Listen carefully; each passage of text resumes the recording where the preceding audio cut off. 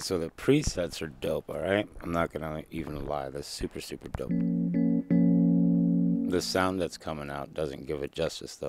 Out of this little, I need to get a new audio interface this way. This chives, because it's not jiving. I plugged this in my headphones and it sounds richer than it does coming out of this box. But it still sounds good.